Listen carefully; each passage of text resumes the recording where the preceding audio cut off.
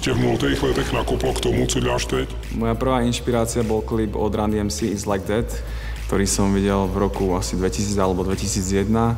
A keď som videl tých chalanov tancovať v tom klipe, tak som si povedal, že také niečo by som aj chcel dokázať.